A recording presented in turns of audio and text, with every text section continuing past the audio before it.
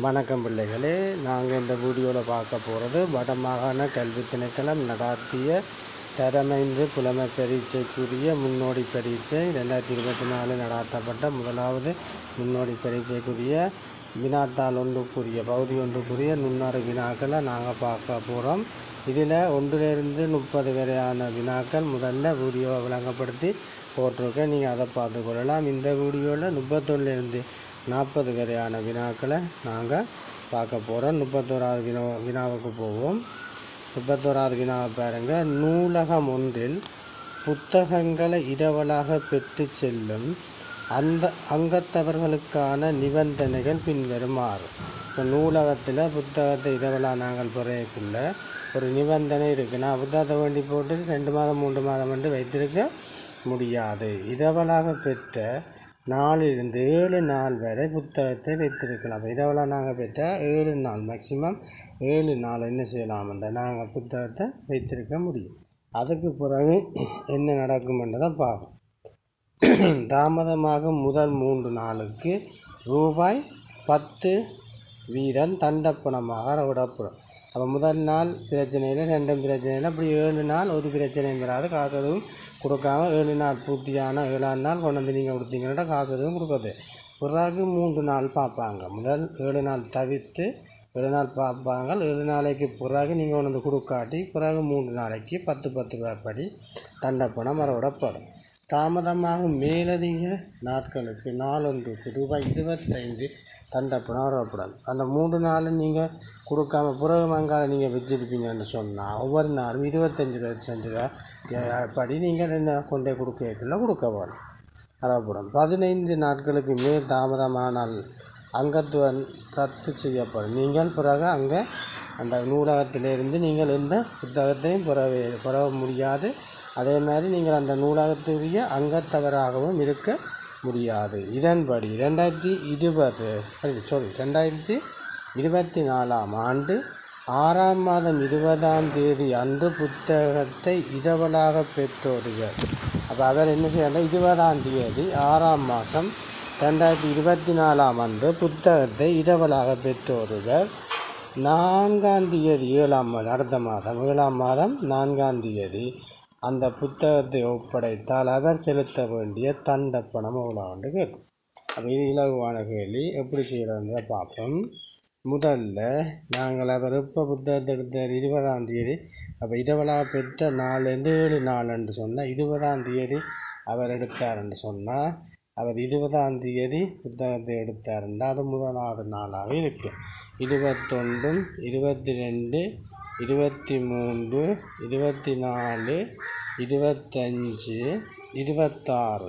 ஏழு நாள். பாருங்கள் ஒன்று ரெண்டு மூன்று நாலு அஞ்சு ஆறு ஏழு நாளை இருபத்தாறாம் தேதி வரையும் அவர் என்ன செய்யலாம் காசு கொடுக்க தேவை இல்லை அவர் காசு கொடுக்க தேவையில்லை. ஏழு நாளும் அவருக்கு என்ன ஏழு நாளும் அவருக்கு தண்டப்பட முறையும் இல்லை. இப்போ இந்த இருபத்தாறாம் தேதி அவர் அந்த புத்தகத்தை கொடுப்பாருன்னு சொன்னால் அவருக்கு தண்டப்பணம் எதுவும் வராது அப்போ இருபத்தேழாம் தேதி அவர் கொடுப்பாருண்டா தண்டப்பணம் வருதுண்டா பத்து ரூபா வரும் அதே மாதிரி இருபத்தெட்டாம் தேதி அவர் கொடுத்தாருண்டா இன்னொரு பத்து ரூபா தண்டப்பணமாக வரும் இருபத்தொம்பதாம் தேதி அவர் கொடுப்பாருண்டா இன்னொரு பத்து ரூபா தண்டப்பணமாக வரும் இப்போ இருபத்தொம்பதாம் தேதி அவர் கொடுப்பாருண்டா முப்பது ரூபா கொடுக்க வேண்டி வரும் ஏன்டா முதல் ஏழு நாளைக்கும் தான் அவருக்கு இலவசமாக புத்தகத்தை வச்சுக்கலாம் பிறகு அந்த மூன்று நாளும் அதற்கு பிறகு இந்த மூன்று நாளும் அவர் பத்து பத்து கொடுப்பேன் அடுத்த முப்பதாம் தேதி அவர் இருபத்தஞ்சி ரூபாய் கொடுக்க வேண்டி வரும் என்றால் மூன்று நாளை பிறகு ஒவ்வொரு நாளும் இருபத்தஞ்சி ரூபாய். உங்களுக்கு தெரியும் ஆறாம் மாதம் ஜூன் மாதம் முப்பது முடியும். அப்போ இந்த முப்பது முடிஞ்ச முடிஞ்சு அடுத்த ஓராம் தேதி அடுத்த மாதம் ஏழாம் மாதம் வரும். ஓராம் ஓராம் தேதி இருபத்தஞ்சி ரூபா கொடுக்க வேண்டி வரும். ரெண்டாம் தேதி இருபத்தஞ்சி ரூபா கொடுக்க வேண்டி வரும். மூன்றாம் தேதியும் இருபத்தஞ்சி ரூபா கொடுக்க வேண்டி வரும். நாலாம் தேதியும் இருபத்தஞ்சி ரூபா கொடுக்க வேண்டி வரும். அப்போ ஏன்னு சொன்னால் இந்த மூன்று நாளை விட்டு பிறகு ஒவ்வொரு நாளும் நாங்கள் கொடுக்கக்குள்ள இருபத்தஞ்சி ரூபா இருபத்தஞ்சி ரூபா கொடுக்கோம். அப்போ ஒன்று ரெண்டு மூன்று நாலு அஞ்சு. அஞ்சு இருபத்தஞ்சை காணுன்ட்டா நான் இருபத்தஞ்சி அஞ்சாறு வைக்கணும் நூற்றி இருபத்தஞ்சு இந்த முப்பதையும் கூட்ட வேணும். அப்போ நூற்றி இருபத்தஞ்சையும் முப்பதையும் நாங்கள் கூட்டினோம்னு சொன்னால் நூற்றி ஐம்பத்தஞ்சு ரூபாய் அவர் கொடுக்க வேண்டி வெறும் தண்ட பணமாக அப்போ முதலாவது கூட சரி. அடுத்தது காலையில் பாடசாலை பேருந்தில் செல்லும் டன்சிகா சூரிய ஒளி படாமல் இருப்பதற்கு பேருந்தின் இடது பக்கமாக உள்ள ஆசனத்தில் அமர்ந்து பயணித்தாள். பாடசாலை விட்டு மாலை வீடு வீட்டுக்கு திரும்பும் வரும்போது சூரிய ஒளி படாமல் இருப்பதற்கு பேருந்தில் பக்க ஆசனத்தில் அவள் அமர்ந்து பயணம் செய்ய வேண்டும் என்று கேள்வி. அப்போ காலையில் பாடசாலை போய் குழந்தையும் காலையில் பாடசாலையை போய்க்குள்ளே சூரியன் எங்கே இருக்கும்? கிழக்கு பக்கம் இருக்கும். அப்போ அவள் என்ன செய்கிறான்டா ஒளி படாமல் இருக்கிறதுக்கு அவள் எங்கே போகிறான்னு சொன்னால் எந்த பக்கம் போகிறான்றதை பார்க்க வேணும். அந்த பக்கம் மற்ற வளம் போகிறா இடது பக்கம் போகிறா அப்போ வலது பக்கத்தில் சூரிய ஒளி படுகுதான்னு சொன்னால் அவள் இடது பக்கத்தில் போய் இருக்கிறான். இதன் இடது பக்கத்தில் இருக்கிறான். இடது பக்கம் அதாவது இடது பக்கத்தில் உள்ளாதான் அப்போ திரும்பி விதைக்குள்ள என்ன செய்ய மாட்டேன் சூரியன் மேற்கால போகிறான் இடது பக்கத்தில் அந்த பெற வேணும் அடுத்ததும் என்ன மெய்ப்படாமல் இருக்கணும் மட்டும் இடது பக்கம் தான் பெறும். அப்போ ரெண்டாவது நீங்கள் அது சரியாக விளங்கி கொள்வீங்க. அடுத்த வெளியே போவோம். கீழே ஒரு ஏயில் உள்ள வட்டமானது ஒரு பியில் உள்ள சதுரத்தில் வரையப்பட்டுள்ளது. உங்களுக்கு தெரியும் இங்கே பாருங்க ஒரு ஏ என்ற உருவம் இங்கே இருக்குது இந்த ஏ என்ற உருவம் இந்த பி என்ற சதுரத்துக்குள்ளே வரையப்பட்டிருக்கு வரையப்பட்டுள்ளது. ஒரு பியில் உள்ள சதுரத்தினை போன்று ஐந்து சதுரங்கள் ஒரு சியில் இருக்கு ஒன்று ரெண்டு மூன்று நாலு அஞ்சு சதுரங்கள் சியில் இருக்குது இப்போ கேட்டது என்ன கேள்வி? இதற்கு ஒரு சின்ற சுற்றளவு சுற்றளவு வந்து சுற்றி இவ்வளத்தையும் கூட்ட வேணும் இதுதான் சுற்றளவாக காணப்படும். சுற்றளவை காண சொல்லி முதல்ல இந்த ஒரு பக்க நீளம் அதாவது இந்த ஒரு பக்க நீளம் எவ்வளோ வந்து கண்டுபிடிக்கணும். உங்களுக்கு தெரியும் இது நடந்த வட்டத்தினுடைய ஆறை நாலண்டா? விட்டம் என்பது அதில் இரு மடங்காக இருக்கும். எட்டு அப்போ இந்த விட்டம் எட்டுன்னு சொன்னால் இதுவும் எட்டாக இருக்கும். ஒரு பக்கத்துலேயே ചതുരത്തിൻ്റെ നീളം എട്ടായിരിക്കും ഇതെട്ട് ഇതെട്ട് ഇതെട്ട് ഇതെട്ട് ഇതെട്ട് ഇതെട്ട് ഇതെട്ട് ഇതെട്ട് ഇതെട്ട് ഇതെട്ട് ഇതെട്ട് ഇതെട്ട് അപ്പോൾ എട്ടിനെട്ട് ഇരിക്കണ്ട് പാകണം ഒന്ന് രണ്ട് മൂന്ന് നാല് അഞ്ച് ஆறு ஏழு எட்டு ஒம்பது பத்து பதினொன்று பன்னெண்டு அப்போ நாங்கள் என்ன செய்யணும் பன்னெண்டு எட்டால் பெருக்க வேணும் பன்னெண்டு நாங்கள் எட்டால் பெருக்கினோம் பன்னிரெண்டு தொண்ணூற்றி ஆறு இப்படியாக வரும் இப்போ முதலாவது விட சரியான விடை அப்போ சீன்ற சுற்றளவு தொண்ணூற்றி ஆறாக காணப்படும். அடுத்த கேள்வி. அருகே தரப்பட்டுள்ள வரிப்படத்துக்கு அமைவாக கண்ணாடி குவளை ஒன்றின்ற நீளம் யாதாக இருக்க முடியும் என்று கேட்டு அப்போ நாங்கள் என்ன செய்யலாம் இங்கே பாருங்க. இந்த ரெண்டு என்ன கண்ணாடி கூலையம் வெட்டினா இங்கே ரெண்டு கண்ணாடி கூலையம் வெட்டுவோம். வெட்டினா மிஞ்ச போகிற இந்த மூன்று கண்ணாடி குவளையும். அப்போ நாங்கள் என்ன செய்யணுமெண்டா முப்பத்தி நாலுலேருந்து இருந்து இந்த பத்தொன்பதை கழிக்கணும். நாங்கள் முப்பத்தி நாலுலேருந்து பத்தொன்பதை கழிப்பேன். கரெக்டாக பதினாலு பதினாலில் ஒம்பது ஒன்று ஐந்து இப்போ இதில் ரெண்டு ரெண்டில் ஒன்று ஒன்றா பதி ஒன்று பதினஞ்சு மூன்று குவளை பதினஞ்சுண்டா. ஒரு குவளை எத்தனை இந்த மூன்றும் பதினஞ்சா? நாங்கள் பதினஞ்சா மூன்றாக பிரித்த ஒரு குவளைன்ற அளவு எத்தனையாக இருக்கும்? பதினஞ்சு மூன்றால் பிரித்த அஞ்சாக இருக்குது நாங்கள் ஐந்தை கழித்தோம்டா பதினாலு பேரும் அது இந்த கோழியாக இருக்குது அது எப்படி என்று பாருங்க இது அஞ்சண்டா. நாங்கள் இதில் இந்த இதான கீழே இருக்கிற குவளை அப்போ இந்த மொத்தம் கூட பத்தொம்பது பத்தொம்பது இந்த அஞ்சை கழிச்சோம்னு சொன்னால் இந்த குவளையினுடைய அளவு வெறும் பதினான்காக முடியாக இருக்கு. அடுத்த கேள்வி.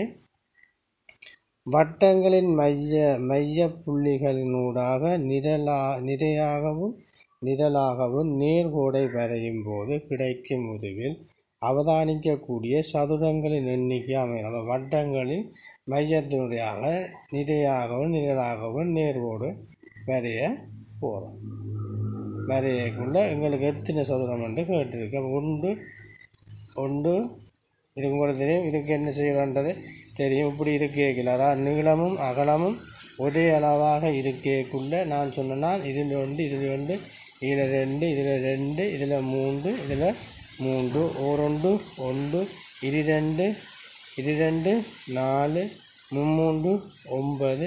அப்போ ஒன்பது ஒன்றும் பத்து பத்தும் நாலும் பதினாலு சதுரத்தை இனம் காண முடியும். ரெண்டாவது விடு. அடுத்த கேள்வி போவோம். அடுத்த கேள்வியை பாருங்க. ஏபிசி என்னும் மூன்று பேர் தம்முடமிருந்த டொபிகளை பங்கிட்டு கொண்டனர். ஏயும் பியும் பெற்றது பியும் சியும் பெற்றதிலும் குறைவு இப்போ சொல்லப்படுது என்ன சொன்ன முதல்ல ஏயும் கம பியும் பெற்றது இது பியும் சியும் பெற்றதை விட குறைவாக அப்போ இது கூட பியும் சியும் கூட இது குறைவாக எடுக்கவும். அங்கால சொல்லப்படுது பியும் சியும் பெற்றதை பெற்றது ஏயும் சீயும் பெற்றதிலும் குறைவு ஏயும் சியும் பெற்றதை விட பெற்றதிலும் குறைவு இது பியும் சியும் பெற்றது ஏயும் சியும் பெற்றதை விட குறைவாக பியும் சியும் பெற்றது. அதாவது சொல்லப்படுவது பி இருக்குல்ல பி இந்த பியும் சியும் பெற்றது ஏசி பெற்றதிலும் குறைவு. அப்போ இது கூட இது குறைவு. என்றதை பார்க்கவும். சரியா? அப்போ உங்களுக்கு கேட்டப்போ மூவரில் அதிக டோபிகள் பெற்றவர் யார் என்று கேட்டிருக்கு அது உங்களுக்கு வெளிப்படையாக தெரியும் ஏன்னு சொன்னால் சி என்றது சரியாக இருக்குமே எப்படின்னு சொன்னால் இந்த பாருங்க இதில் ஏஎம் பிஏம் அப்படியேக்குள்ள இதில் என்ன பிஎம் சிஎம் அப்படியே பிஎம் சிஎம் தான் கூட அது யார் காரணம்? கூட சீட்டை இருக்கிறதால என்ன காரணமாக இந்த அடுத்தது இங்கே என்ன நடக்குதுன்னு சொன்னால் இந்த பியோட சிஎம் ஒப்பிட்டு ஏ ஏஎன்சிஎம் அப்படியக்குள்ள இங்கே சி ஏயோட வர்றால ஏ கூடுது. அதால் சி தான் அதிகமாக காணப்படுதுன்றதை உங்களுக்கு விளங்கிக் கொள்ள முடியும். அடுத்த முப்பத்தேழாவது வெளியே பார்ப்போம். ஒரு உண்டியல் உள்ள பத்து ரூபாய் குட்டிகளதும் ஐந்து ரூபாய் குட்டிகளதும் மொத்த எண்ணிக்கை. உண்டியலில் உள்ள ஐந்து ரூபாய் குட்டிகளின் எண்ணிக்கையினதும் இது மடங்கா இங்கே பாருங்க என்னன்னு சொன்னால் பத்து ரூபாய் பத்து ரூபாயும் அஞ்சு ரூபாயின்ற எண்ணிக்கை ஐந்து ரூபாயின்ற இரு மடங்கு. உங்களுக்கு தெரியும் ஐந்து ரூபாயில் ஒரு பத்து இருந்தால் அதில் இரு மடங்கு இருபதாக இருக்குது என்ன சொல்லப்படுதுன்ற கேள்வியோடைய பார்க்கணும்? பத்து ரூபாய் குட்டினதும் ஐந்து ரூபாய் குட்டினதும் மொத்த எண்ணிக்கை. உங்களுக்கு தெரியும் இந்த மொத்த எண்ணிக்கை இருபதுன்னு சொன்னால் அதோட அரைவாசியாக அஞ்சு ரூபாய் இருக்குது அப்போ இங்கே பத்து ரூபாயில் பத்து அதே மாதிரி அஞ்சு ரூபாய்களுக்கு தெரியும் பத்துன்ற சொன்னால் ரெண்டும் சமனாக தான் இருக்கும் எப்படி? பத்து ரூபாயில் பத்தும் அஞ்சு ரூபாயில் பத்து மண்டை பத்தும் பத்தும் இருபது மொத்தம். மொத்தத்தின் அரைவாசி தான் இதாம் இது அஞ்சண்டை இது பத்தாக இருக்கும் வேண்டாம் இங்கே பத்து போட இங்கேயும் பத்து போடும் அப்போ கேட்ட கேள்வி என்ன? இதற்கு இப்போ பின்னரும் கூட்டி ஐந்து ரூபாய் குட்டின்ற எண்ணிக்கையும் பத்து ரூபாய் குட்டின்ற எண்ணிக்கையும் சமனாக இருந்தால் ரெண்டும் பத்து பத்தண்டை இருபது ரெண்டு அஞ்சு ரூபாய் பத்தாயிரம் இருக்கும் அப்போ என்ன சொல்ல போகிற ஐந்து ரூபாயின்ற இரு மடங்காக பத்து அஞ்சு ரூபாய் இருக்க மாட்டோம் அப்போ ரெண்டாவது விட சரியானபடியாக இருக்கும் ரெண்டு சமனாக இருக்கும். அடுத்த கேள்வி. கீழே சில இயல்புகள் தரப்பட்டுள்ளன. அவற்றை கொண்டு அடுத்து வரும் முப்பத்தெட்டாம் முப்பத்தொன்பதாம் வினாக்களுக்குரிய சரியான உடைய தெரிவு செய்ய. இயல்பு ஏ காணப்படுகின்ற விலங்கையும் சியில் காணப்படாத பறவையை முறையை காட்டும் விடையினை தெரிவு செய்யவே அப்போ தாவர பகுதிகளை மட்டும் உணவாக கொடுக்குறதுல ஈயில் காணப்பட விலங்கு பசும் சரி தாவரத்து உணவாக மானும் சரி அடுத்தது சீயில் காணப்படாத பறவை சி என்ன ஊற்று இரவு சஞ்சரித்தல் காணப்படாதது. ஆந்தை என்பது இரவில் சஞ்சரிக்கும் காணப்படும் கிளி என்பது இரவில் சஞ்சரிக்காது. அப்போ மூன்றாவது முறை சரியான குடியாக அமையும். அடுத்தது கீழே உள்ள இந்த இது இயல்புகள் ஒரு வரிப்புலியுடன் இருக்கின்ற. அதேவேளை ஒரு மனிதனிடம் இருப்பதில்லை. வரிப்புலியிட்ட இருப்பது மனிதனிடம் இல்லாதது. முதலாவதுடைய பாவம் இ. விலங்குகளை மட்டும் உண்றது என்பது வரிப்புலி புலிகிட்டே இருக்கு மனிதனிடம் இருக்காது. அடுத்து மிக வேகமாக ஓடுதல் என்பது என்ன?